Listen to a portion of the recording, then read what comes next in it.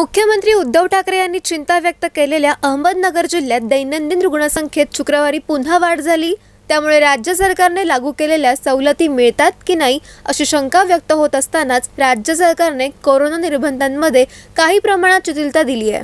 त्यामुळे राज्य सरकारने लागू केलेल्या सवलती मिळतात की नाही अशी शंका व्यक्त होत असतानाच राज्य सरकारने कोरोना निर्बंधांमध्ये काही प्रमाणात शिथिलता दिली आहे. त्यामुळे आता अहमदनगर जिल्ह्यात पंधरा ऑगस्टपासून निर्बंध शिथिल होण्याचा मार्ग मोकळा झाला असून जिल्हाधिकाऱ्यांचा तसा नवा आदेश जारी झाला.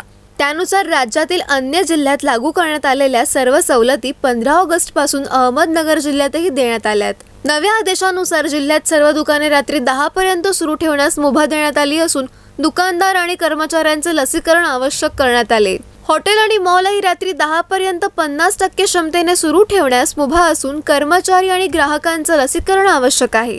याशिवाय व्यायामशाळा आणि सलूनलाही रात्री दहा पर्यंत सुरू ठेवण्यास परवानगी देण्यात आली. खुल्या प्रांगणातील विवाहाला दोनशे जणांना मुभा असणार आहे तर मंगल कार्यात पन्नास टक्के उपस्थितीस परवानगी देण्यात आली आहे. दरम्यान चित्रपटगृह नाट्यगृह आणि धार्मिक स्थळे ही बंदच राहणार आहेत अशी माहिती जिल्हाधिकारी राजेंद्र भोसले यांनी दिली आहे.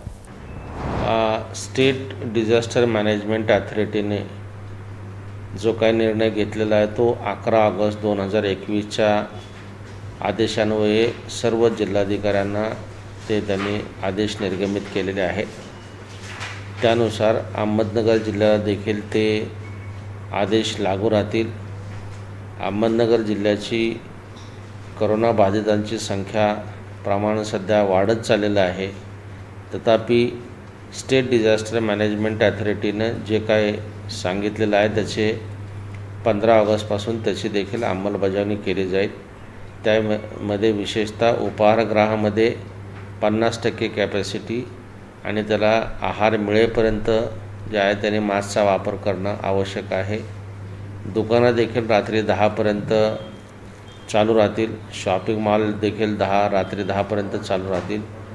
विवाह सोहळ्यांच्याकरता जे आहे बंदिस्त सभागृहाच्या पन्नास टक्के कॅपॅसिटी किंवा मॅक्झिमम शंभरपर्यंत व्यक्तींना. त्यामध्ये अलाउड असेल. जे विवाह सोहळे ओपन मंगल कार्यालयामध्ये होत असतील त्या ठिकाणी दोनशेपर्यंत व्यक्तींना मर्यादा आहे. आणि एकंदरीतच जे आहेत की जिल्ह्यामधली सर्व सिनेमागृह तसंच मंदिरं देखील बंद ठेवण्याचेच आदेश आहेत.